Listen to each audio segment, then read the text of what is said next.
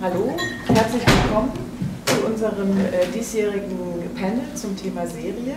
First of all, um, is there anybody who does not understand German? Yes. Okay, I will do this in English, and the panel will be held in English anyway because we have a, a guest from Sweden. So I'm happy to have you here for our uh, panel this year. I'm very happy that we uh, are doing this in cooperation with the German Film Institute, Deutsches Filminstitut in Frankfurt. And um, the moderator of the panel, David Kleingers, uh, he is uh, supporting us very much and he will present the guests we have uh, today.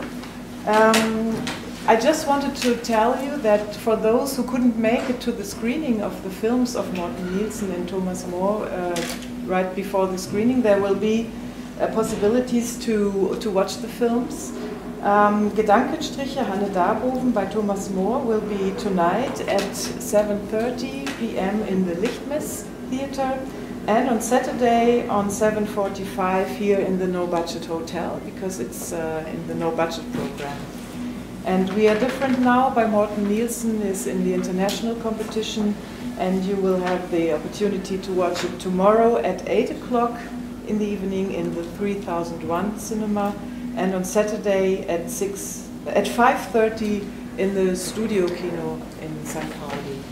So now I hand over to David Kleingers and I wish you an interesting um, discussion. Oh, good. Thank you. Um, yes, uh, welcome and, uh, to the panel which we have titled Continue, Repetition and Variation, the Serial Principle. Um, as you see, this is a very broad subject and um, I think we have assembled quite a panel um, which allows us, allows us to, to view uh, the idea of series or the concept of series um, in visual art, but also in other art forms from very different viewpoints. And um, I think we have um, a lot of questions which um, come up uh, unintentionally and, and, and, intentionally when we talk about series and um, what constitutes a series, um, where do we find series, um, and um, how do we work with it as an artist, how do how do we uh, perceive it as a consumer, um, how does it constitute um, our concepts of, uh, of certain epochs or certain bodies of work, and this is uh, just a glimpse of the range uh, of topics we might touch. Um, we only have one and a half hours time. So um, I'd like to start off by introducing uh, our panelists for today, and I'm starting off on the left with um, Christine Blättler. Um, she's a professor and managing director um, of the Department of Philosophy at Kiel University, and um, she edited the book Kunst der Serie, Die Serie in Künsten, which roughly translates as uh, The Art of Serious and Serious in the Arts and um, which I think offers um, highly interesting in-depth analysis of practices, forms of presentation and reception of serious in different art forms and mediums, and um, concerns itself with the laws of seriality. And um, um, I'm really excited to hear more about this. And um, next to her is Mårten Nilsson uh, from Sweden. as Alexandra already said, we screened his series We're Different Now, just before the panel. Um, I hope lots of you have seen it because we're opening the floor later for discussion and everybody is invited to um, uh, pose questions to the panelists. And um, I think um, uh, We're Different Now, um, which is screening an international competition, am I right? Yes. Um, it's an intriguing work and we are excited to have you here. And um, we, of course, we'd like to talk about uh, your concept of seriality, your approach to it, and um, um, yeah, giving over to Thomas Mohr. Um, also in the festival, um, we screened two of his works just before the panel, uh, The Winged Earth and Gedankenstriche, Hanne Darboven. And um, this is a different approach of seriality uh, we're seeing, and another notion and um, I think uh, it's going to be interesting to see in comparison how seriality as a, um, as a concept works differently in um, different films or art forms. And um, I'm going over there to Dr. Bernhard Gleim. Um, Bernhard Gleim is um, a senior editor at the NDR network and is responsible for series programming, uh, conceptualization, development of series, and I think it's interesting and important um, because I think our first notion of series is always the TV series, the classic form, the narrative TV series. And so it's going to be interesting, I think, to, to contrast the approaches uh, which have developed over decades um, in TV programming to series to uh, other notions of series, and seriality. And uh, last but not least, Stefanie Plappert from the German Film Museum in Frankfurt. And um, Stefanie is um, currently in the uh, last stages of prepping an exhibition on um, surrealist cinema. And uh, she's done an exhibition on film noir. And she comes from, a, uh, from the viewpoint of a curator. Um, um, many of you probably have experienced curating festival programs or uh, curating exhibitions or um, um, assembling books, uh, editing books, etc. So um, this approach of creating a series um, of attributing sense to a sequence of works, that's another notion of seriality which comes into play, I think, in our discussion. And um, well, I, since we're in the short film festival, I'd like to start off with a question to the filmmakers. Um, maybe start off with you, Mårten, if you if you're okay with that.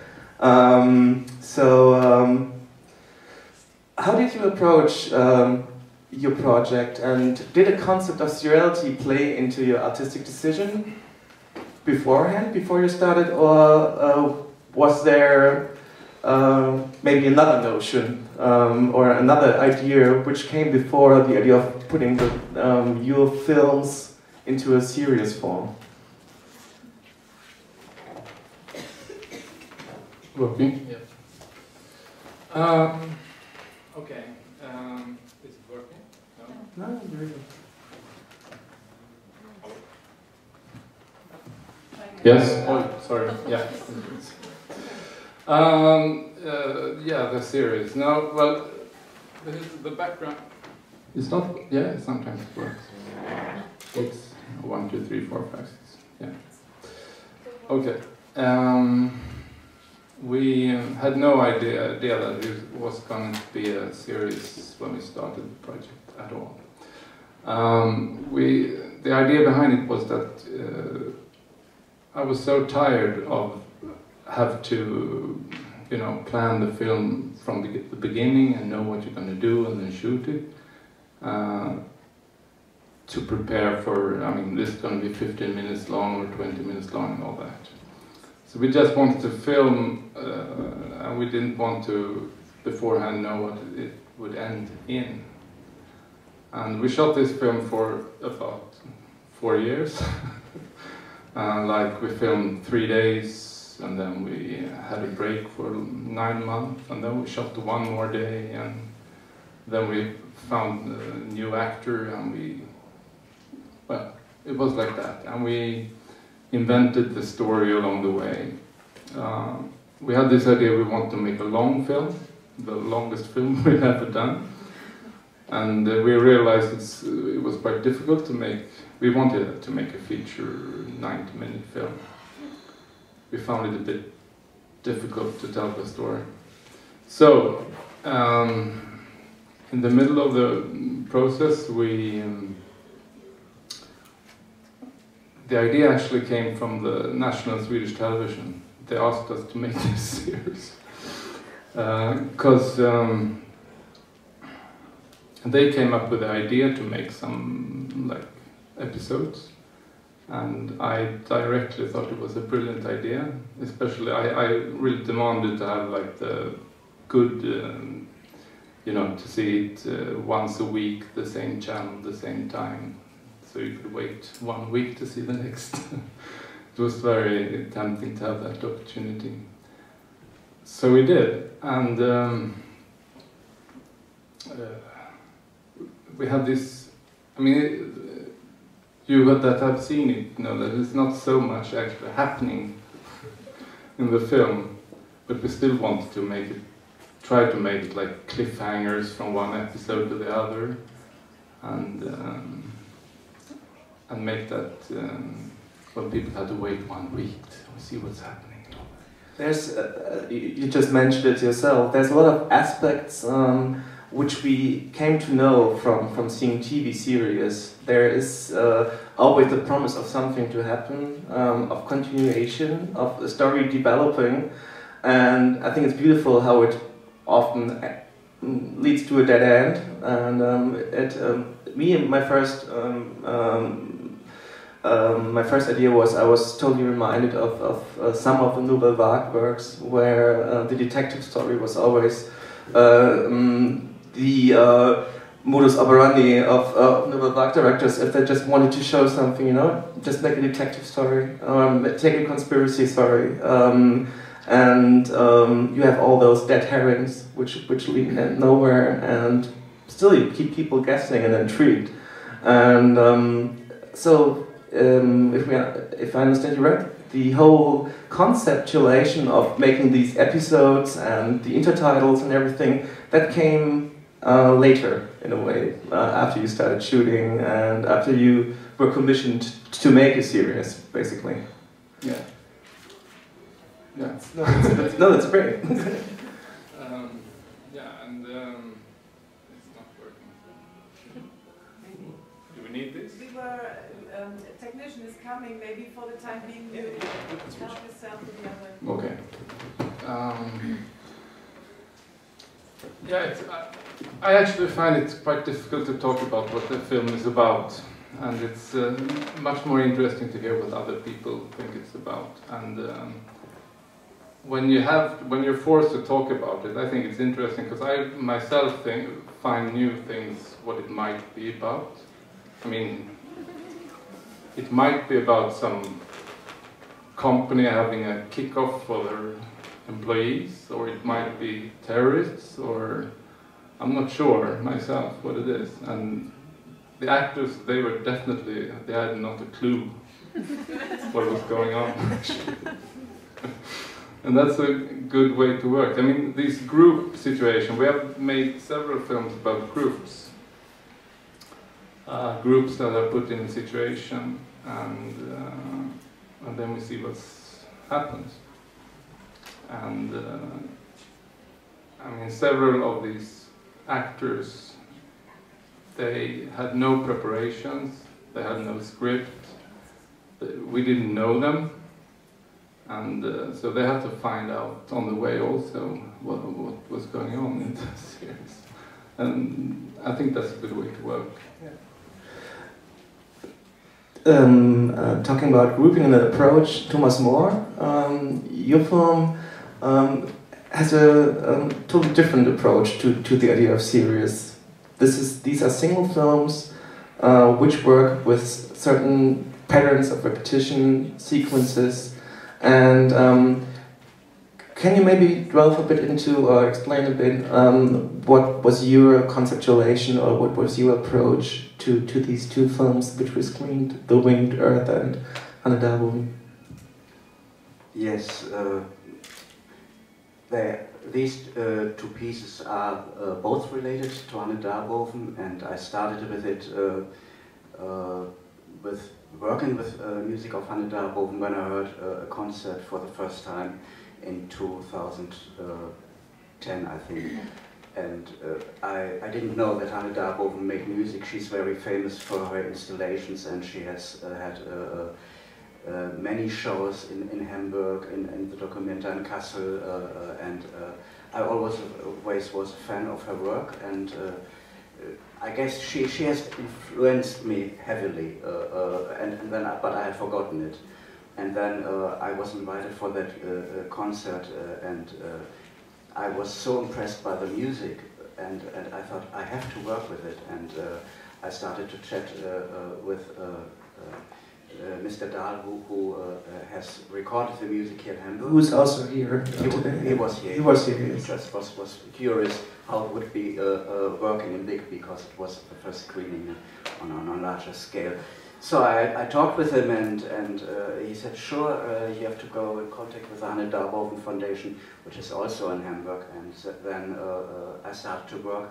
And initially, uh, uh, my, my work itself is based on uh, step-by-step working with a construction method. I'm, I'm, I'm trying a construction method, and I think this works. My first moving piece I started with making films only 2007 was with a uh, very young uh, Dutch composer and when I found this music uh, I started, I, I tried with, with working with it and I put it on uh, existing material.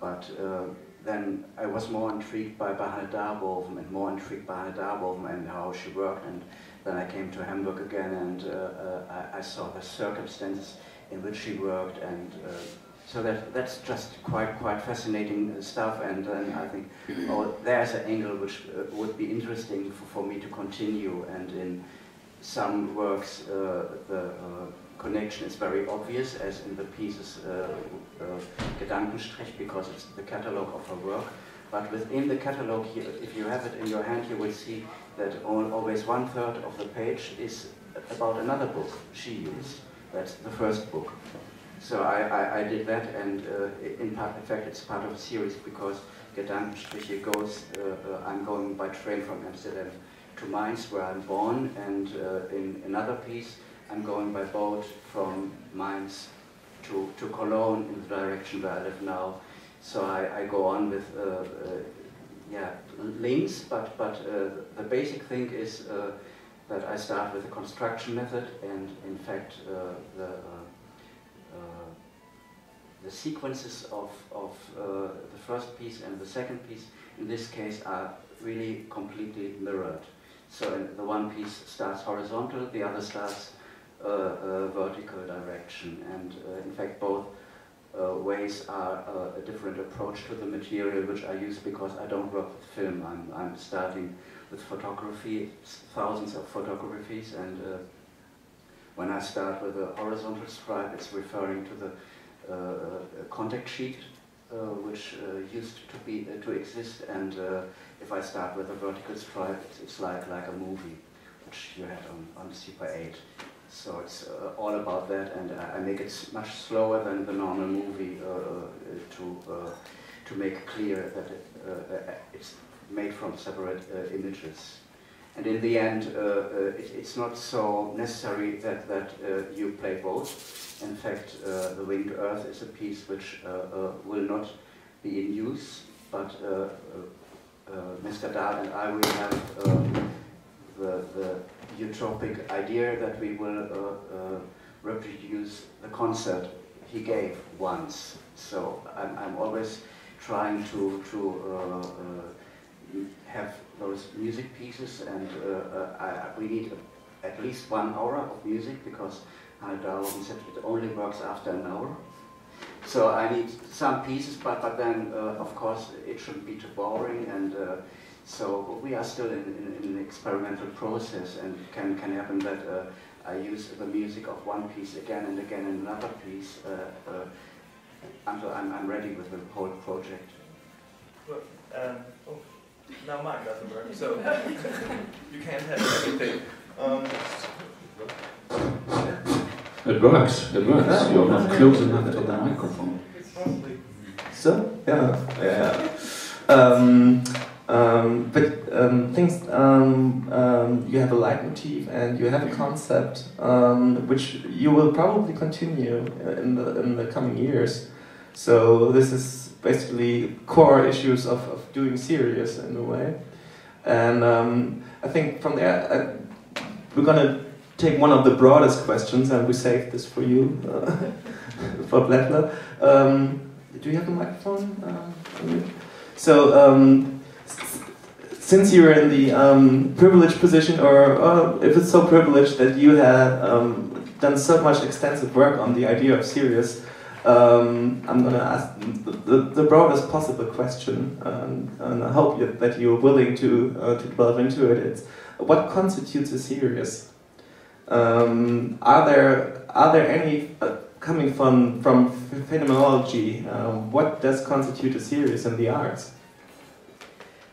That's a difficult question. So, when you are interested in series or phenomenon, phenomenon called series, so you are faced with a, a wide range of different uh, objects and concepts. And um, my, my interest goes always what in this direction what is the characteristic of all these different phenomena. Um, I would say it's not repetition. It's very often that series are constituted by repetitions, but not always. Think about mathematical series, think about the musical um, 12 tone scale, um, think about synchronous series, series in a museum, for example. Um, so the presentation could, at least, constitute a series at the end.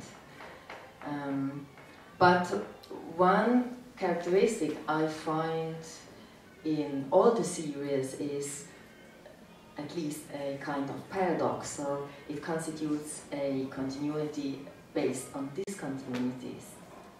So um, we have always um, several elements and interspaces, and they they um, they are in a certain relation. And what interests me mostly is um, what is this relation? But that's a question for for us, for the viewers, or it's um, it's part also in the eye of the beholder. So you fill in the gaps in a way between. Yeah, or it's um, mm, serial objects are a demand for us as viewers or viewers. and it's another approach as from the filmers. They make them. They they are involved in the process of making these objects. So for me, because you asked, um, it's it's very easy and very basic. Several elements um, related with uh, interspaces. And how the relation is determined, it's another question. But what you can find um, always is also, it's not, sometimes it's, it's uh, easier to approach uh, uh, uh by negation what it's not. so the relation is not the causal, a causal one. So it's not a relation of um, cause and effect. And that's interesting for, um, especially for theory and philosophy as we've seen since the 19th century until today. I think we're going to come back to this, uh, especially in regard to technical reproduction. Um, uh, I think because we all focused on audiovisual arts here, and um, um, so film and television, and which brings me to um, Bernhard Gleim. And um, we already talked a bit about um, uh, the, the approaches to seriality or uh, working in a series uh, with the two filmmakers. So you come from, from a long tradition of, of series, one might say, you yourself, for years, in um, fictional uh, um, series programming and development. Mm -hmm. So, uh, what are the demands coming from, from a very pragmatic and uh, also expensive uh, form of production? Um, what are the demands? What is necessary to um, to make uh, a story into a series, and what are um, because we now have the um, I think in, in audiovisual arts or in commercial audiovisual arts we have this whole discussion about feature filmmaking versus TV series. Um, where there's a shift in the perception of series as an art form, and um, I think this is uh, also intriguing to see this uh, when, when we see uh, your film, which is kind of a play on, on, on this fictional series um, trend in a way, or it kind of yeah it uh, it nods its head uh, in that in that direction, and uh, maybe you can give us some insight into what makes um, the, the, development of a series so demanding or rewarding in a way?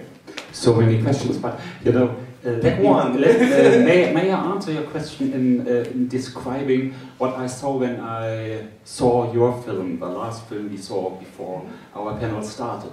Because you know, for me it was intriguing and really fascinating that immediately when the film started, I was in the sound of the, the organ. And I, for me, it felt like I was, you know, led into a room uh, where I wanted to be. It's this, this sound which carried me through the whole film. And then oh, uh, there was this, uh, uh, this sound, a, a, kind of basic sound, over which or connected which uh, the variations took place. And uh, so it was, you know, here a kind of meditative calm, which contrasted them uh, the, the picture with the more, which was more, was more nervous. But the basic feeling was this warm, wonderful uh, sound of the organ. And uh, so it went on and on, and then the end of the film came. For me, it was, you know, in a way like life is. The, end was, you know, unexpected in a sense. You could maybe go on five minutes longer or seven minutes longer or whatever. And uh, so it's like death, it comes when you don't expect it. And uh, so there you have some signs for me which make a good series. You have uh, this room, a room is created in which I like to be, in which I like to wander around, which I, uh, uh, I have the impression I know it in a sense, so it comes near. And then there are variations of this pattern, of this sound, which are uh, maybe there my comparison uh, goes a bit weak, but uh, the variations in the narrative tradition from which I come, which I have to work for, um, is different. But uh, the, the, the, the, basic pattern of a TV series is this combination of, um, of uh, some basic patterns with variations. And uh, so um, a combination of uh, new things and uh, things you are accustomed to as viewer.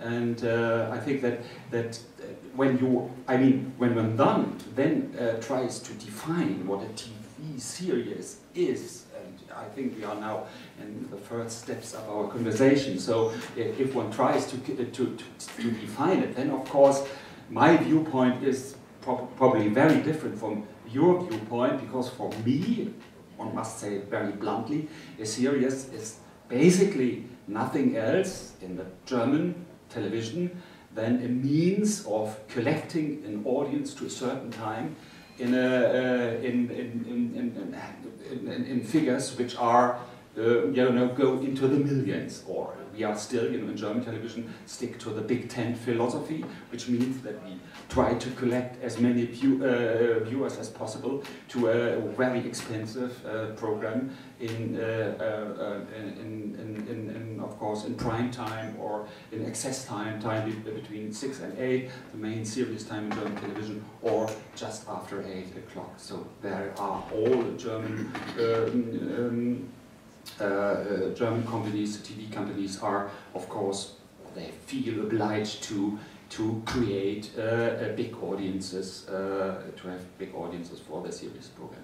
So, I mean, these are two, two answers uh, to your question, and I think uh, the difficult task for me is to, uh, yeah, to work on this relation between developing new types of series nowadays, of course, the American uh, um, uh, series, uh, the, talk about the new golden age of television with the with series which are now considered as as you know compared with with the, the great novels of the 19th century or uh, Matt Weiner of Mad Men or uh, other figures of the uh, American TV series scene are compared to, to the great novelists like Dickens and, and Balzac and so on and so forth. And of course, then, and this is, I think, one of the most important and interesting questions now, what I described was to collect an audience to a certain time. Uh, this is, we can see it now, we can see it quite clearly. This is the old television. Linear And, television. Uh, linear television, uh, where uh, the behavior of the audience and the programs is linked uh, to certain, you know, types of uh, attitudes. Uh, the, the audience expects something to a certain time. You can't bring a very complicated uh, uh, TV movie, not, uh, let's say, in the afternoon, but you can transmit it at, at 10 o'clock in the evening, and so on and so forth. I think this, um, this and the Tagesschau is always at 8 o'clock, and it's 8 o'clock when the Tagesschau goes on. You know, all the thinking which uh, links uh, uh, the everyday behavior of people to the scheduling of TV programs. I think this link is now getting weaker and weaker. And, and, and then, and then the series will, TV series will change as well because the TV series in the tradition of the TV series, uh, of, the, of, the, TV history is the art form of television because in commercial television it provides uh, the, uh, uh, the advertisers uh, with, uh, with a very stable viewership in which in the, in the intervals in which to you can place uh, uh, the commercials. You know, I mean, the, the, the, the, the, uh, the series comes out of commercial TV to, uh, to, to have always the same audience to, to, to, to, to have a sound basis for your uh, uh, commercials. I think uh, what's really, really interesting, what you said, is creating a room uh, in the sense with, with the series. Um, um, or that, um, uh, how you compared the film, of creating a room where one wants to return to. Um, as, a, uh, as a spectator, I want to return to this room continuously. And um, I think um, when we talk about museum as a room or as a place uh, where, where you uh, where you constitute a narrative or a series when you, when you work on a certain subject. Um, I think there are demands uh, also of making this uh, room working with expectations um, of visitors and uh, with preconceptions of, of, of the story or of, of an artist. Steffi, what do you think? Uh, yeah, of course it is. I mean, um, I work as a curator for film-related exhibitions mostly, and uh, which in my case does mean that I work with exhibiting films and moving images. And when you asked me to take part in a panel about series, or I, for my first reaction was, I don't work in series. I work in a museum and I work at the crossroads between film programming and art exhibiting in a way. In exhibiting film or film moved image, moving, images. But when I started thinking about it, I figured that I nonetheless work with seriality in different respects, of course.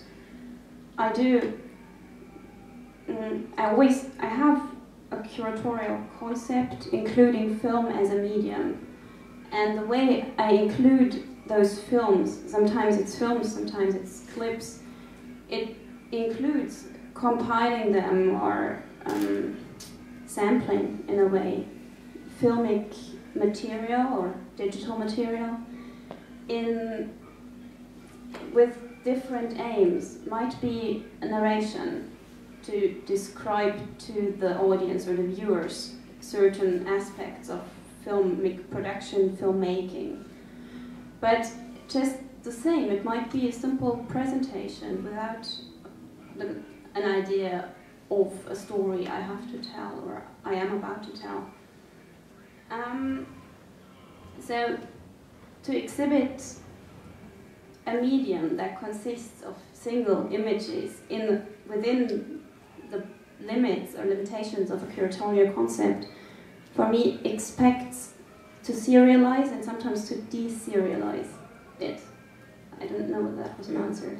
Oh, well, I think so, but um, um, I, I always think when it comes to, to, to doing exhibitions or doing a festival, um, programming a section and so on that we uh, deliberately or uh, unconsciously always create series in a way. Um, uh, we have certain uh, preconceptions about an artist, about uh, a subject, and um, this always plays into our selection of artifacts, of, of stories, of uh, which we want to tell. Um, sometimes they, they come naturally, sometimes they're deliberately conceived. Um, and I think it's a mixture of both. And I, and I think that was really interesting because um, uh, uh, Ms. Blättler said uh, it's not about repetition in a way. Uh, the series is not about repetition per se.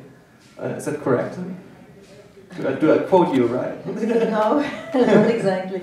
It doesn't need to be connected. It doesn't need. It doesn't need. To be based on repetition. So, um, but um, as you said, um, uh, Mr. Gleimes, uh, that repetition is uh, in the uh, narrative form of, um, uh, of serious storytelling. Repetition is an aspect which is important. Um, you have certain motives, characters, which have to be, uh, which have to continue and have to return to keep the viewer interested. Yeah, yeah. Let's take the normal conventional TV series which you can see in German television, and I take this as an example. I don't say that this is all what you can say about series. There are many more possible uh, developments. Uh, think about. But when you when you have, for instance, what you can see with, at the ARD between six and eight, or um, later at uh, eight o'clock, then you have always what you said. Uh, this promising, prom, uh, this promise developing I, I think that could in discussion between us that in the dramaturgic theory every scene builds up a promise which is fulfilled or which should be fulfilled in one of the next scenes. So at least in the conventional storytelling, TV storytelling, I build up a scene to a certain momentum which creates an uh, expectation with the viewer. Uh, he, he wants to be what this um, expression of the face for instance, means, and then he will go on uh, to see what the uh, uh, person, the protagonist, has seen at that moment. You uh, had uh, this this this dramaturgic machine of, of, of creating expectations in the, in the classical cliffhanger, when you see, let's say, a program like Verbotene Liebe or uh, the other uh, daily series in German television, then you can, I think you could create a grammar of the last expressions of a series. You have the ambivalent look, you know, what does he mean? Uh, is he honest? Uh, what does she see? What is she expecting? The faces of shock and horror, of joy, and so on and so forth. And these, uh, these uh, uh, expressions in the very formatted way of producing these series, really, I think you could create such a kind of grammar of these ex expressions. On the other hand, to, to, to, uh, to, to, to keep your uh, viewers going. And they of course they, they um, in, in the viewer um, there is a certain type of knowledge about the series which you continuously build up. So he knows how that or that character will react because oh that's the funny one that's the more, you know, uh, difficult one. So there are certain types of, uh, of, uh, uh, of, of, of, of, figures in a standard in a standard manner, of course, in the popular uh, programs. And so there is um, the expectation, I will be, in my expectation, I will be confirmed. I, I, I, I, I, I think he will do this and that, and either he fulfills what I think he will do, or he doesn't. But this is a kind of, of, of, of, play in my mind which is going on and on and on and on. I mean, this is a principle which you have in quiz programs as well. I mean, the, the enormous uh, uh success of Günter quiz, I think 10 years ago, was that he created the multiple choice. Uh, that was not uh, so much the case in German quiz program, programs in the older times, in the 50s uh, where other types of quiz were very popular. But when you have four alternatives, you can guess yourself too. And so I think the series, uh, the, the, you can say, well, what's, what's the right answer? And there's obviously one answer which is not the right one because it's completely ridiculous. So I have only three answers left. And so on. I will only say that these patterns of of, of, of um, preconception, expectation, and confirmation is uh, continuously working in a, in a, in a TV series. I and I think the way to change that, that is a task that's in, in, in the future to, to go to more complex uh, types, to, to, more complex types of narratives. And uh, I think it's very interesting because I think there's something in there that we can um, generalize in a way. Um, it's um, that series, to, to recognize a series, we have to, to see certain patterns and uh, just to, to determine this is a series, there has to be something uh, which returns or which uh, which comes up again. And on the other hand, we are looking for surprises. We want to be surprised, and we want we want a payoff which might go against our expectations. We want um, because when we only see the same pattern over and over again, we might become bored and we might discontinue from watching. And um, we're not longer uh, eager to anticipate what's going to happen next because we think, okay, this is not going to surprise me anymore. And I think this is something that um, is um, a motive or um, an aspect which is, is interesting also with your film, Mårten, that we we continue to expect something to happen, and I, I was uh, um, I was thrilled till the end. Although I probably knew that not so much is going to happen. So uh, still, uh, the patterns work, you know, because um, uh, for me it, it was like um, it, it, was it was entertaining for me because I, I recognized certain patterns which you subverted in a way because um, then you had a hard cut or you had a totally uh, absurd dialogue which uh, or absurd in the context in which my expectations were first. So um, you're subverting certain expectations which comes with the serious with serious storytelling. And this is rewarding in its own regard uh, for me as a viewer because I, I know serious and I know what to expect. And when this is subverted this is also entertaining and new for me. And um, something that like Tatortreiniger in a way does sometimes too um, playing in the genre um, and subverting the genre at, at certain points and uh, um, taking um, the, the, the, three act structure, um, um, turning it on its head sometimes. So I don't know.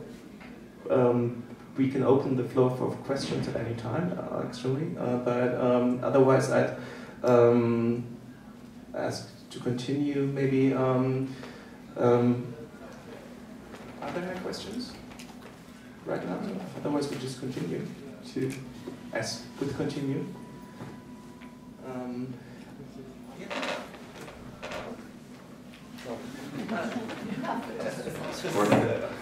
I think what you said about uh, expectations and one scene leading to the next, and you expect to find answers on all the questions. That's very, I mean, automatically the, with the episodes you have all these gaps that you can leave out so much information without making the film totally weird.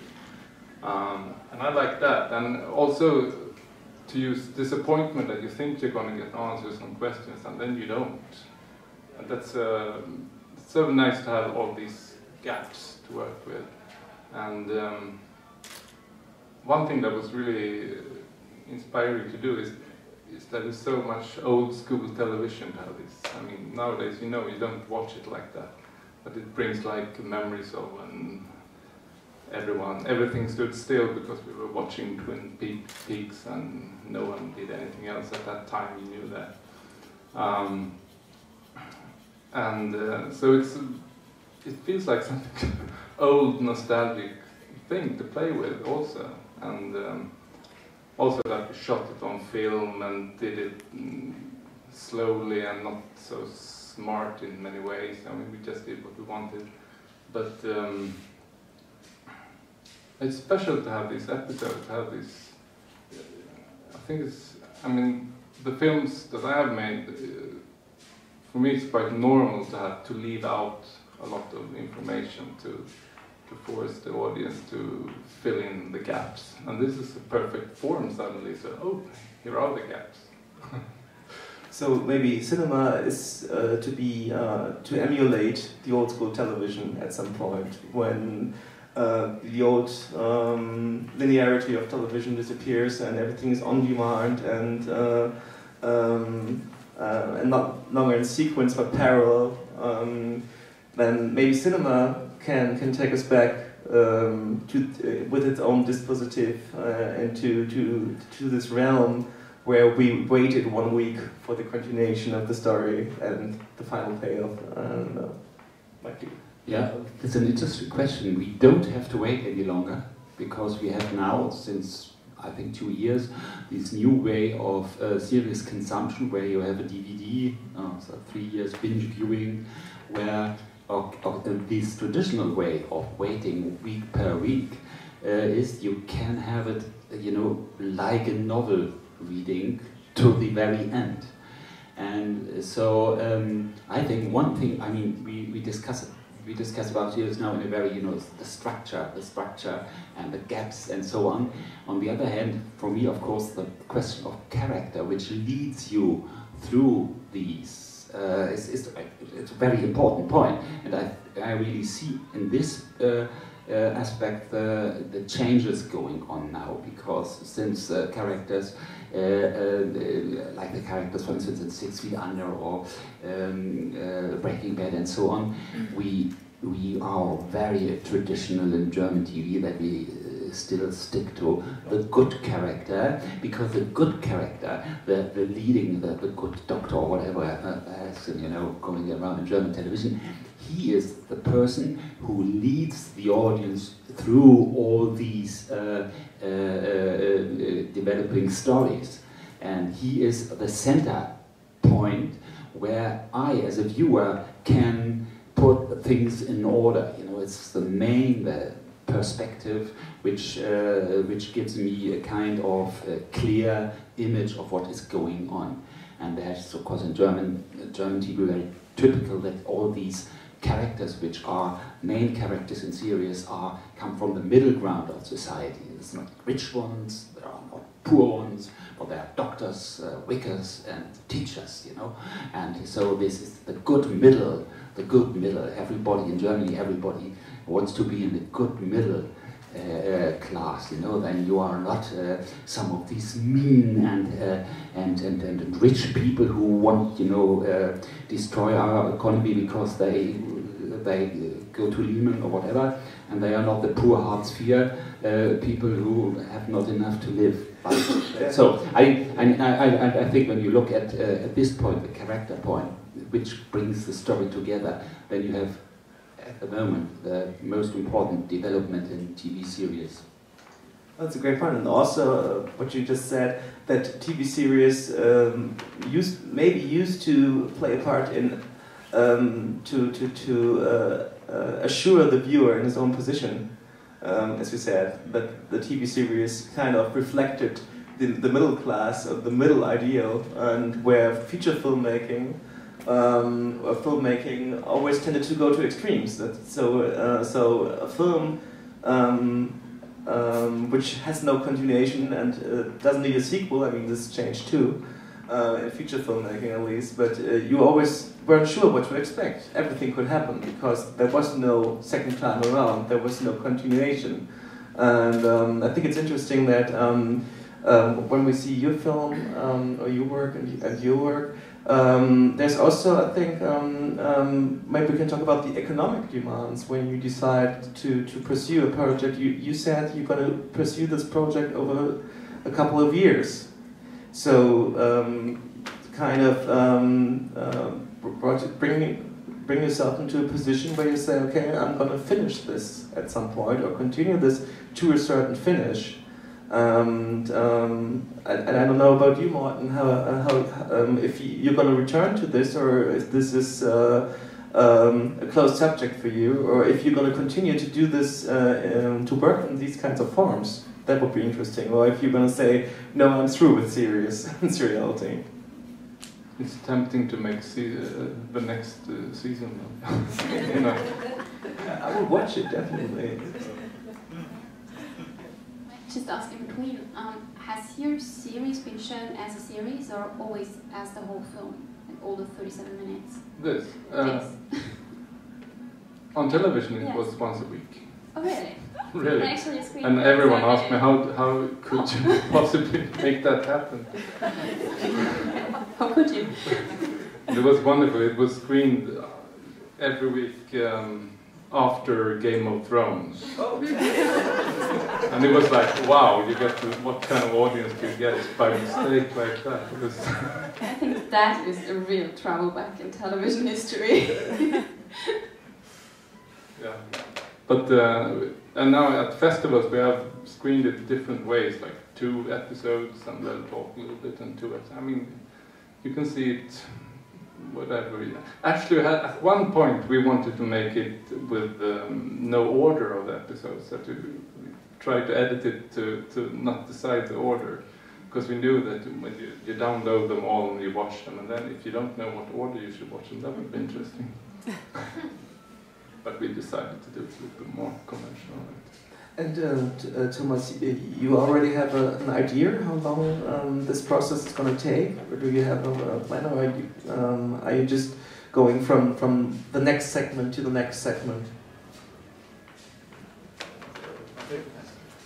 The problem is that I have an idea about a piece of music. First, first I have the music, and then I think, um like uh, the Requiem of Hanne Darboven is uh, 11 volumes of CDs, and it's about 11 hours, and uh, some pieces I like more, and, and some I like less. Uh, uh, these two pieces are from the 11th volume, and uh, it's about half an hour, and the aim is to get the half hour together to, to create that uh, concept for now Hanne Darboven would, would have been 70, uh, so perhaps for the 75th uh, uh, anniversary. And we, we, we had the idea of, of, of that concert and, and we already wanted it to do uh, two years ago, but to build a big screen here in, in, in, the Peter Church in, in, in Hamburg, that would be much too expensive. And uh, so I'm, I'm making it piece by piece, and my whole, whole procedure of working is very much based in, in uh, the golden age of uh, Dutch uh, art uh, subsidizing, because uh, uh, in, in difference to Germany and other countries, uh, my work was not funded based on, on, on, on works, but uh, on uh, being an artist. So when, when, when, uh, when, when uh, my, my uh, work of, of uh, when my method and, and my, my way of, of dealing with my work was satisfying to the Dutch uh, Fund of the Arts, uh, it didn't matter uh, uh, what I make uh, as long as I have some recognition somewhere. So it didn't matter so if I have uh, shows or if my work is screened in a festival, it, it didn't matter because the Dutch Fund in fact didn't really look on, on, on what you are doing, it. they only looked, okay, he's doing something and he has something, some recognition. So we give him uh, money for four years to continue his working. So you will find in, in, in all my works uh, uh, uh, as, as a credit the Dutch Fund of the Arts because they are funding me. And they are still funding me. So, but, but, but they will, will quit with it and uh, then uh, I have to uh, change my way of working or uh, I, I just do it for fun. And uh, so I never know where the edge is, where, where, where, where an artist stops because he is not earning any money anymore. So I don't know. So at the moment I just find it very satisfying uh, to continue and uh, especially in my method I can, can start with a project and something is happening in my life like my mother is dying or my father is dying, or my partner is very sick. Then I, I stop for a moment and, and I find it very comforting that at some point I just go back to my work and the structure is there, the composition is there, I just can go on with uh, uh, composing my stuff. That's um, that's very interesting because we talked about the assurance uh, the spectator gets from the series because you can return to, to certain structures and narratives and motifs, and that this can also be assuring for the artist. Um, that's uh, I think that's a very beautiful notion also. At uh, uh, the, the famous Rijksmuseum at the moment in, in Amsterdam, they have a big light uh, uh, artwork which says artist therapy. And I'm biking there again and again. I'm always wondering for whom, for the spectator or for the maker.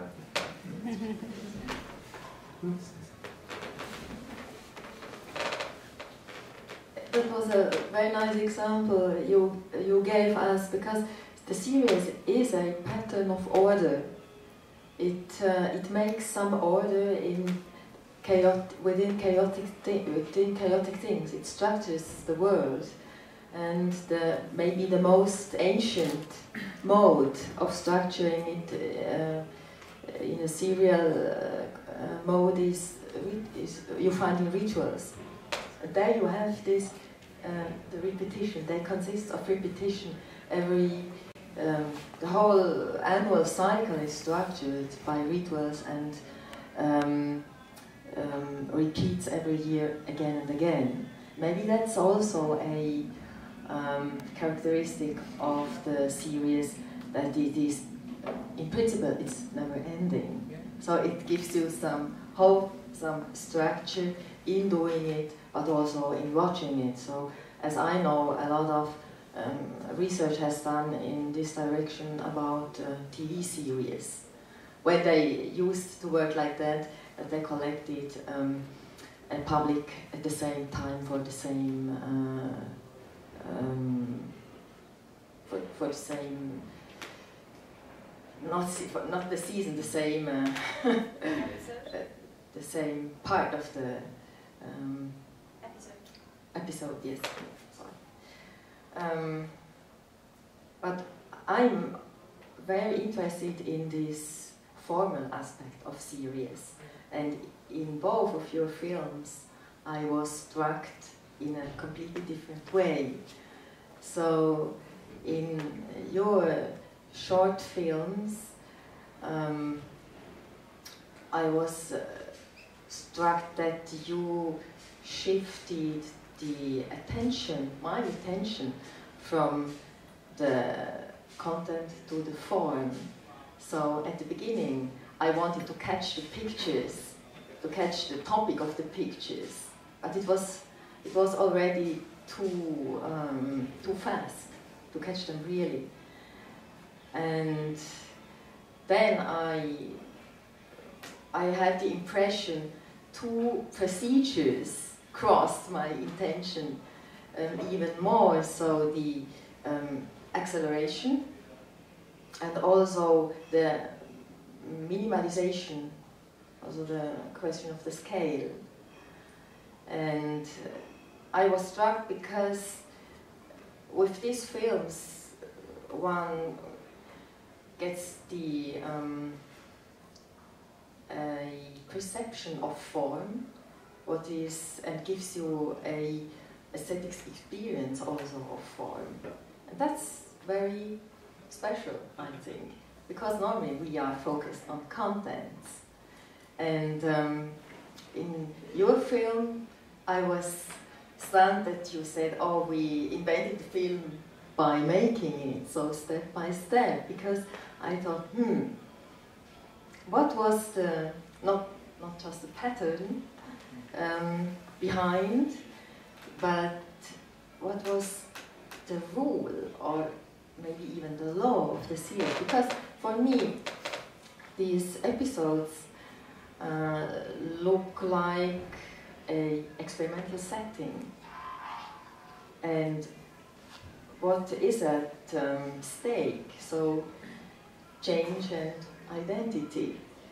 And the experiments seek to, um, oh, it's uh, very well known, experiments seek to provoke a forced uh, experience. So, um, but you have two ways. You can test something with this forced experience, but you also can explore something. And so, on the second glance, I'm no more surprised because you choose this exploring way in, in your kind of experimental setting of your topic within these, over these uh, episodes. Yeah. I think we are at a very interesting point in our discussion or in our exploration of, of the, the idea of seriality and um, I'm just looking around if there are any questions around, so otherwise we just continue with, with our discussion, but feel free to intersect at any time, um, post questions. Um, the, um, I think what, what we have, what, what we've talked about and um, what always pops back into my mind is the idea of something I don't know, I'm not sure if it's an opposition, and I'm not so sure anymore because I thought, okay, we have form and we have narrative, we have um, the uh, experimentation with motifs, and um, we have the continued narrative of the story. And um, I was wondering, uh, in regards to audiovisual art in 20th century, um, the, the, the shift in seriality. I mean, nobody has mentioned the name yet, but eventually one has to do with Benjamin and uh, the whole concept of um, technical reproduction of art and uh, of seriality. Um, so, do you think that uh, we can uh, still determine this shift um, when you because you worked through the um, through the art forms and through the ages and looked at seriality uh, in different uh, phenomena. So, do you think that this is still true? This whole notion of um, technical re reproduction, um, auratic art form, non-auratic, uh, non-auratic art, auratic art. Um, does this still hold up in a way, or do we have to change our perception of um, uh, reproduced and uh, reproduced art, especially with regard to, to our discussion of the series in a way?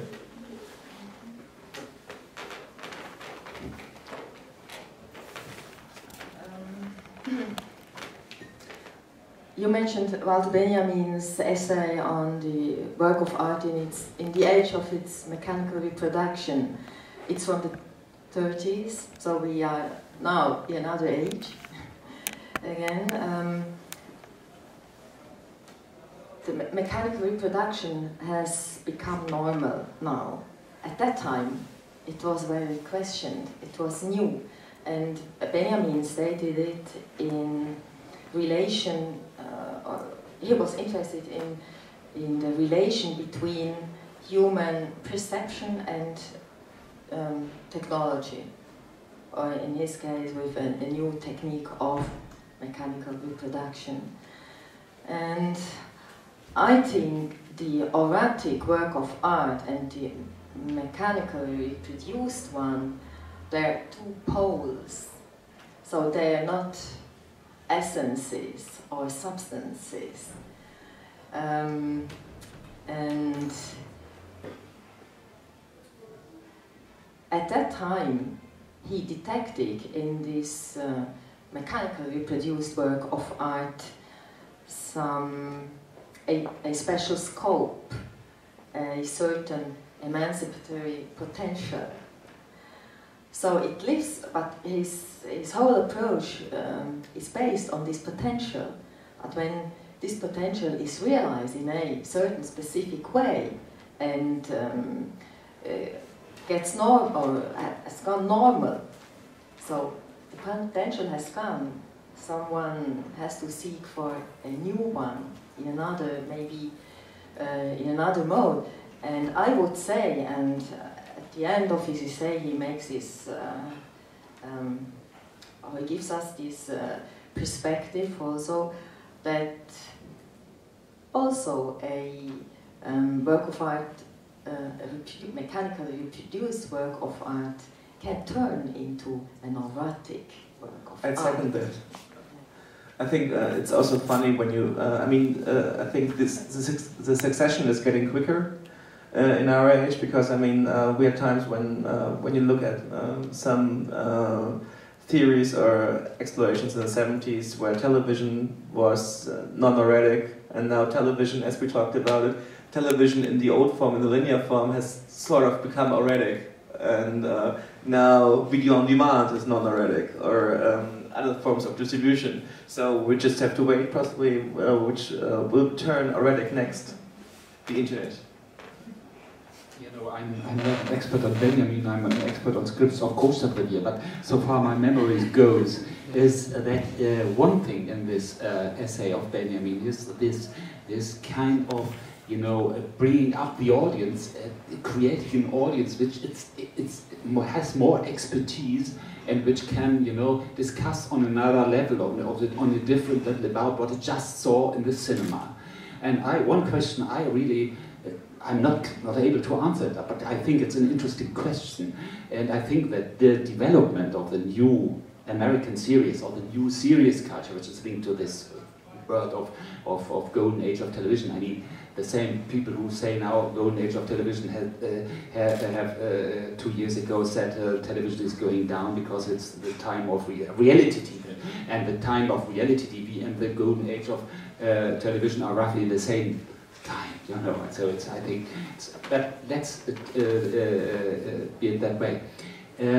What, what I really wonder is whether these this new type of series the, the American series for instance and the new means of communicating about uh, series are linked together. Because it's interesting that uh, these these these um, uh, wonderful series like for instance Six Feet Under they create a kind of forum around them in which people in a very expert, expertise way communicate about the series. I, I think you can't uh, just say it's uh, it's you know kind of you know the typical comments on the internet when you look up these uh, pages and the forums which exist around these programs.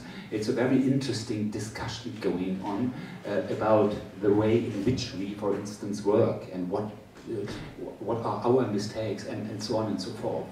Uh, we had a, just recently a discussion in um, one of a group of uh, ID um, uh, people responsible for the programs, uh, the colleague from the Austrian uh, television, who said, well, I stick to the traditional way the people sh should not contact with second screens when they see the films I'm responsible for. It's a kind of idiocy, and uh, I don't, you know, you have to, to watch it. So he was defender of the auratic form uh, of art in which you are, in a sense, overwhelmed or drawn in and uh, it's a kind of ritual of uh, you are observant all the time. There is the point where you will uh, uh be touched by what you see. There's no point which you can't see. You must change your life and all, uh, all that. But we are now uh, that, that, that these series, for instance, create what I just said. This this continuous stream of, of, of communicating. And I sometimes, you know, when I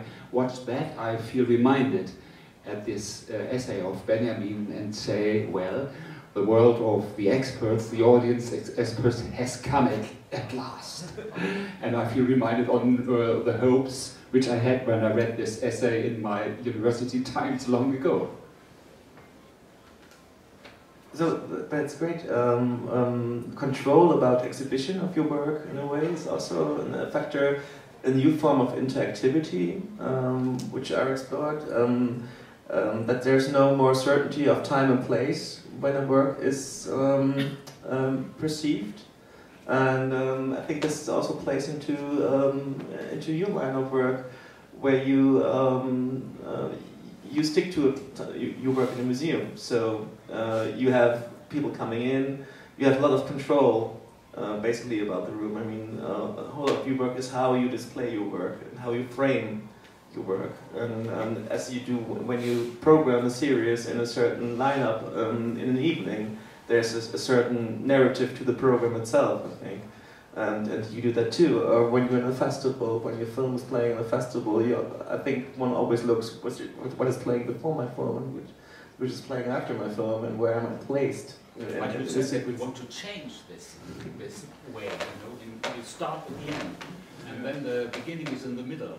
And then, uh, uh, yeah, that's that's interesting. I think. Yeah, but I think uh, and that yeah. might be yeah. you will reach a point where that you can reconstruct the story from you know parts of it. Uh, and we are now, you know, very much in the traditional three-act structure in, in our popular uh, storytelling. I think it's it's uh, you can imagine that this even that will.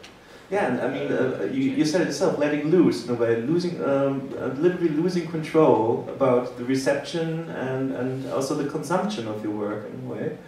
And um, I think that's an interesting aspect which plays into everybody's line of work basically here. Um, how much control do we have about um, how our work, when our work, where our work is uh, perceived? I think it was a question to you. Well, I'll just take the question. Um, I, I have trouble speaking of my work because, in a way, of course, the idea of what I exhibit is mine or the one of my team, but what I work with is finished works by others. And what she said last, the not so much the part of having control. I, I don't have any control on my audience or the people that come to the museum. And in a way, I deliberately don't want to take it. I don't give them a fixed way to pass through the exhibitions. I've never done that. And I always ha have it um, it as open as possible so people might find their own way, might get attracted by the several exhibits, the filmic material or the others. And what you just said is funny because, as you said before, I'm working on filmic surrealism or cinematic surrealism, on the idea how surrealists perceived film as the perfect medium to express their ideals and what trials they made to realize this ideal form.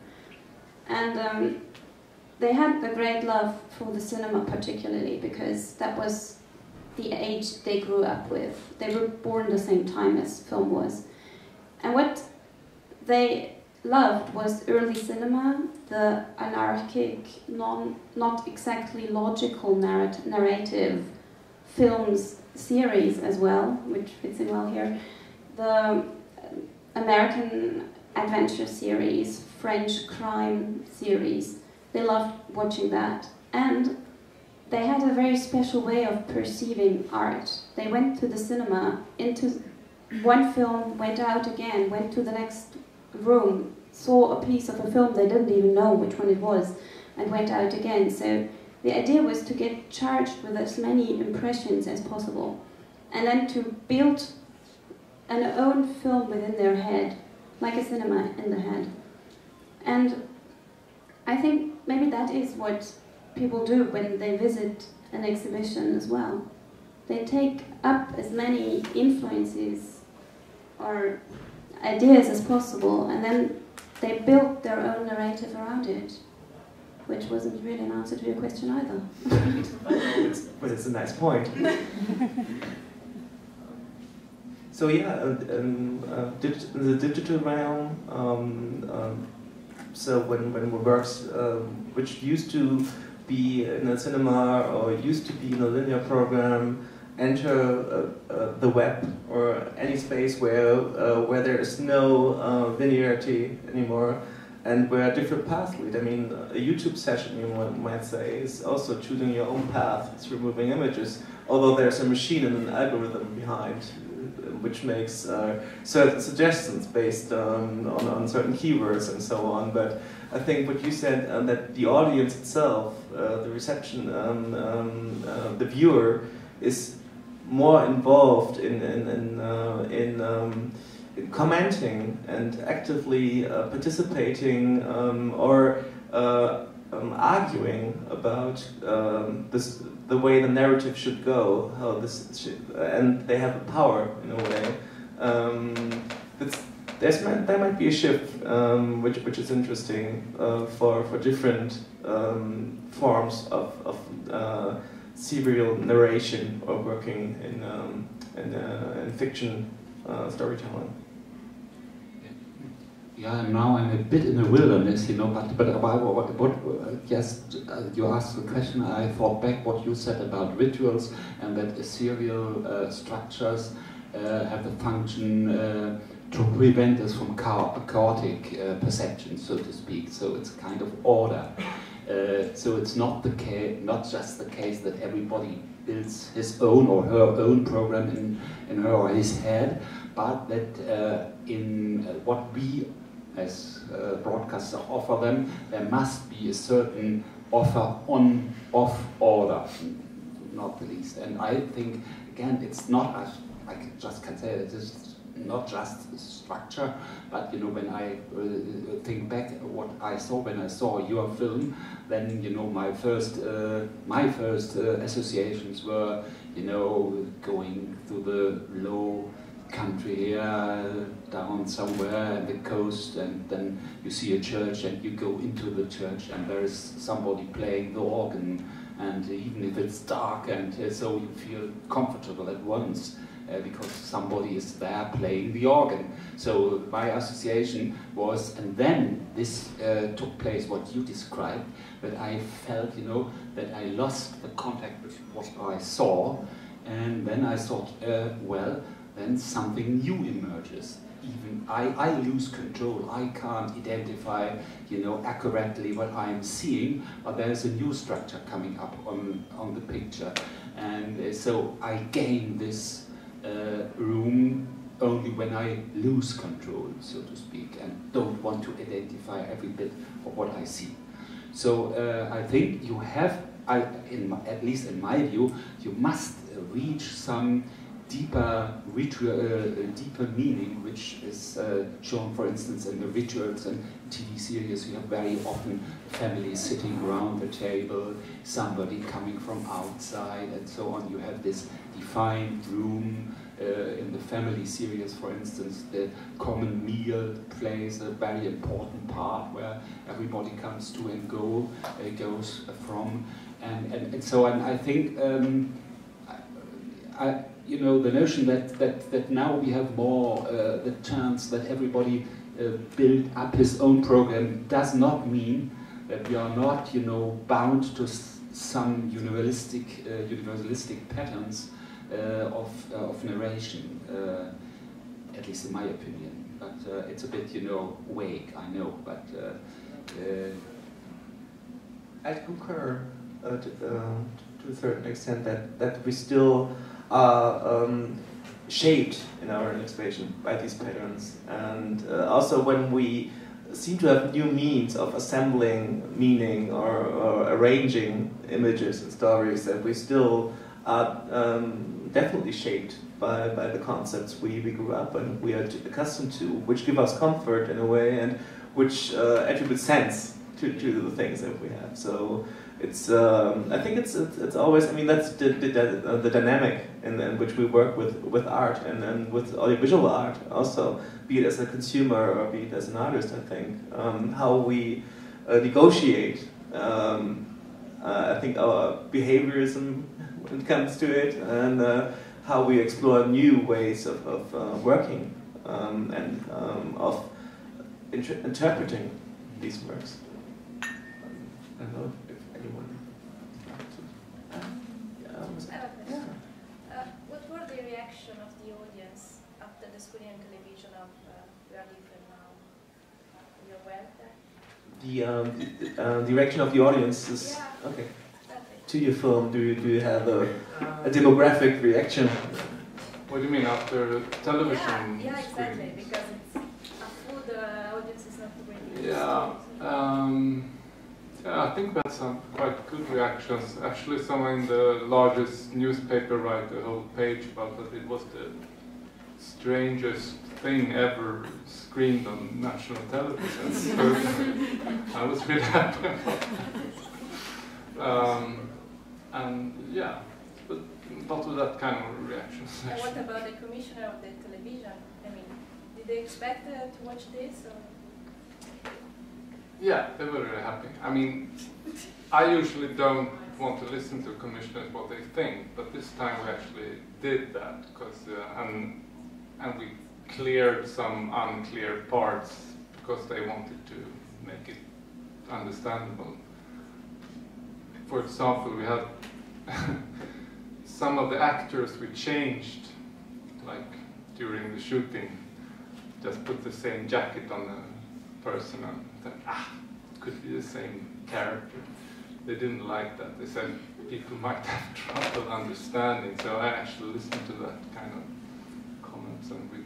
So to me, it's a little bit more conventional than I'm used to work in that sense. But that was very interesting or good to listen. Actually, to listen to that kind of comments. And yeah. I learned something from that. I love TV audience because there's so many people watching things by mistake, and, and that's so fantastic. I mean, the only time I watch television, just put it on, and then sometimes you misunderstand what you see, and I, I think that's a good way to see things. I mean, I, I never read the back of a book when I start reading because it's so boring to know what, is, what I'm supposed to expect or read. I mean, it's so much nicer to see a film when you have, have no idea what it's about. If it's a comedy or not, I mean, it's much better not knowing almost always.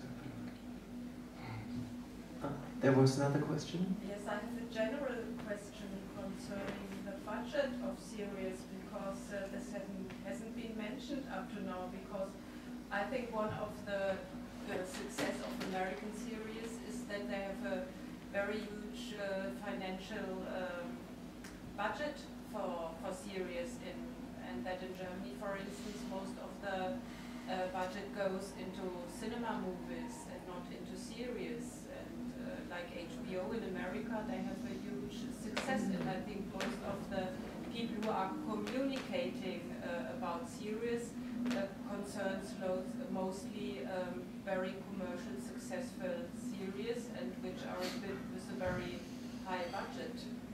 So, what do you think about this? Yeah, yeah completely true. That, that's the main difference between uh, Germany and America and of and Great Britain, by the way. Uh, in uh, Germany, you have still, I'm not quite sure whether that's good or not, but you have still the, uh, the tradition of the TV movie. The TV movie, I think Germany is a country, I, am sure that Germany is a country um, uh, with so many uh, TV movies as no other country in the world uh, percentage to the to the population. Um, the two public broadcasters who you know, when you look in our, uh, at our program schedules, you see TV movies on Monday at ZDF, on uh, Wednesday on ARD, on Thursday on ZDF and ARD, on uh, uh, Sunday uh, Tatort and uh, the um, Escape film, uh, Rosamunde Pilcher at ZDF, and so on and so forth. And this is not typical, for instance, for British television and of course for American, because there this series, a TV series, is t, uh, is the TV art form, so to speak. And uh, the budget of the American series is much higher than, than, than what we usually pay for, uh, for a TV series. I, yeah, I could give you some figures. It's, it's astonishingly big gap between uh, the TV series in Germany and, and, and America in financing.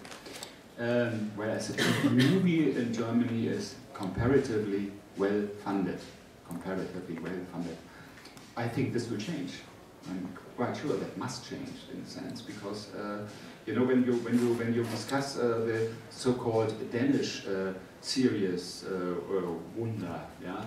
Uh, Borgen, The Bridge, and all these uh, program, Kommissarin Lund, and so on and so forth. Uh, they decided at a certain time not to produce TV movies anymore, but uh, to put all their budget into streaming series. And so this is a complete change of TV culture uh, in Denmark, which, uh, which is uh, the reason for this uh, wonderful series they have there. So I think that, that the, the, the, discussion is going on fairly late. I think uh, it should have started much earlier. Um, why shouldn't we do better series? I mean, could do it. And I think, um, I hope. Yeah, I mean, that, that, that would be a panel for itself, uh, talking about the, um, the problem of uh, German television and feature filmmaking and the overlapping interests of television and, and feature filmmaking and the reason why the series might be a bit underdeveloped historically in, in German, uh, German programming.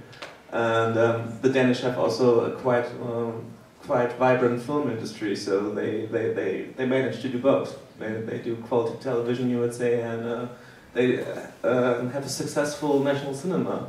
Um, but the economic question, uh, which which is in there, also where where do I place my story? Where where can I um, where do I work? You you you had uh, the chance. You were commissioned by um, Swedish Television to to do this.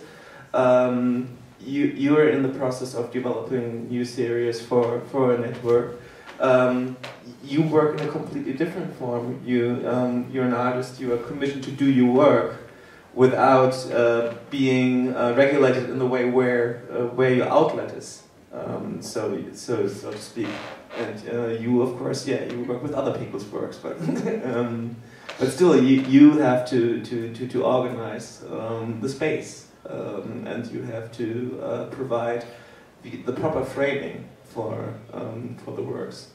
And um, I don't know, um, um, uh, maybe, um, but um, when you see these different forms of, of working in serious, serious and seriality, um, do you think there's there's there's a, a new pattern there um, in regards to our technical technological state, uh, uh, the modes of production, um, how we uh, maybe uh, a state of seriality we're in right now?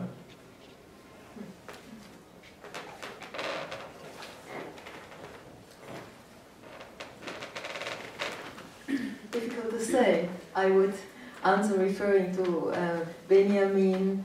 Um, it needs to find or to detect the auratic pole and uh, the other one um, always again because it, it moves, it can shift and there are rising new technologies we have to deal with so the the television series is um, an elder uh, an elder form than the, the um, internet D or the DVD series we know from uh, the states. Um, so it's we are shifting always, and I think it's important to identify where is which of the poles, because we we can't be sure, we can't have a rest, we can't take this uh, TV series, uh, for example, to fix it as this uh, contemporary medium where we find where we have the potential for granted. So everything remains in motion, and relation relations tend to shift. And um, are there any more questions? So I don't know what the time. I don't know very much. Do we still have time? Okay. So yeah, we still have ten minutes. so anyone feel up to to contribute to the discussion? Yes. I have a, a question to, to Thomas. Um, we invited you to this panel um, with the subject seriality, but and because we think uh, we, we discovered lots of serial elements in your films. But do you think of serial um, of, of, of seriality when when you make it, when you make your works, or is it for you a topic which doesn't really occur in your practical work? No, it's it's it's, it's a very important topic for me. Uh, uh, at the same time, I'm, I'm not always working. I'm a consumer as well, and uh, one kind of series is not really mentioned uh, often here, but is in fact the majority of, of programs on the Dutch TV. It's like uh, uh, MasterChef uh, New Zealand, MasterChef Australia, MasterChef USA, MasterChef Holland, MasterChef this. Uh, and most of the people don't watch it anymore on the TV, but they will, will watch in the weekend five or six episodes. So I, I know quite well structures of, of, of formats and uh, I always know and, and I, I consider that in every piece I need an opening, I need an end and uh, uh, I, I, have to connect it uh, and I try to translate that in uh, a, a, formal language. So I, I, just have developed my own language with, with my own words and own metaphors and uh, but, but still, uh, I, I know very well what is around, and I, uh, uh, you had the questions. If, it, uh, if we think about the context where our work is shown, I really don't mind because I know the context. There are two possibilities for my work. One is the internet, it's my own own page, and there I have some influence. I've quit to put uh, work on, on uh, uh, YouTube because I don't like in the end the suggestions. I don't want YouTube to make suggestions, but uh, uh, my first Hanne Darboven uh, piece is in fact my most successful in terms of, of viewings in the internet. It's on YouTube, but I have no clue what people watch there. And what I like with uh, uh, short film festivals is the surprise. There's something before me and there's something behind me. And the viewer will be surprised anyway, either by my piece or what's behind or other way around.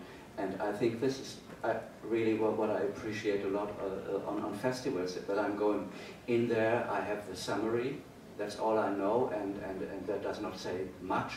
And then I'm sitting there, and then I have one and a half hour of, of surprises. I have a question to you too, because when I saw the film, um, of course the music is the very, very strong part, and what the visual frames do is more unveiling the principles of cinema in a way.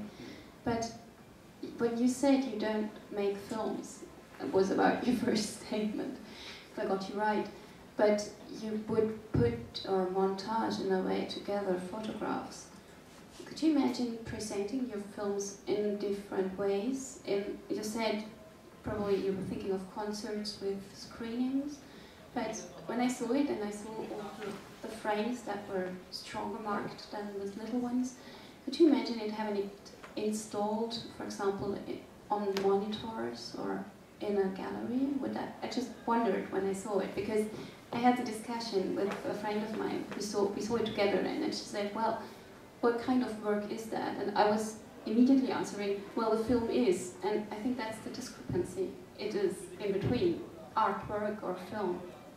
Yeah, in fact, nowadays you would say uh, uh, uh, that I'm making films, but but uh, uh, I, I, I, started quite some time ago, and I started with Super 8 which was of, of course very different. And, and then later I switched to something completely different. And, and on the Art, Art Academy, I, I, was not busy with film, but I started with paintings and drawings, and I thought it would be fun to translate the process of, of painting and drawing into video. And it was a very limited form of, of, of video uh, because it's in, in, the 80s.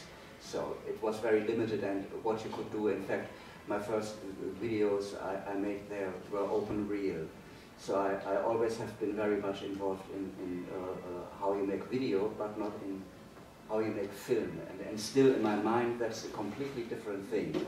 The only thing which I really took over from, from filmmaking is the fact that you have really uh, uh, frames. And, and uh, from, from the beginning that you started to work with video, that was invisible because you only have that tape and you don't know where is what, and only the editing programs made it possible again to see the images. So that's, that's why I don't consider myself as a filmmaker because I don't work with film material, neither do I work with, with uh, video material. And uh, the other thing is, uh, in the beginning, uh, when I worked with video, you had a, a, a foundation in Holland called Montevideo, which was representing most of the video artists, and they had a strategy to make us generate income. And, and, and, and the idea was uh, you have to make installations. So I made installations. Uh, Writing artworks. I made installations, so that, that was how you would earn money.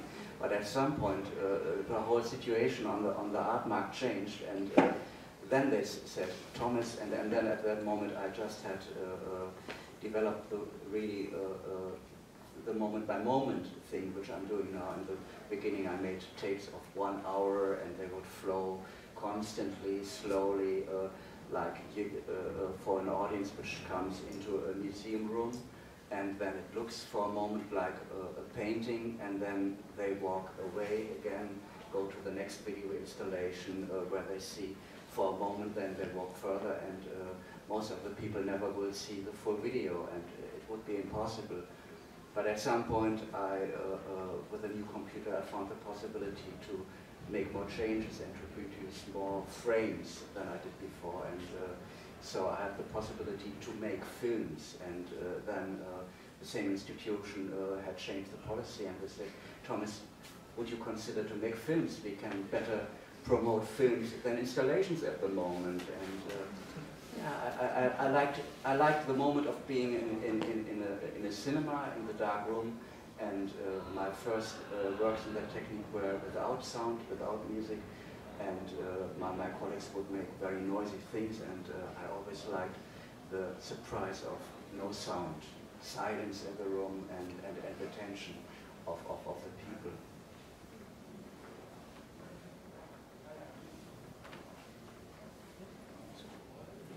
So, any more questions?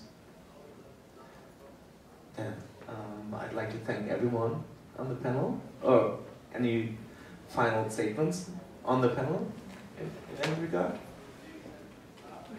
Everybody's good? Um, I'd like to thank everyone who, who, took part in the panel. I'd like to thank everyone who who sits through with us. And I think, um, yeah, um, the subject is not closed most definitely not. It will probably continue. Um, and um, yes, um, um, I took a lot of it uh, for myself, and uh, you did too. So thanks, everyone.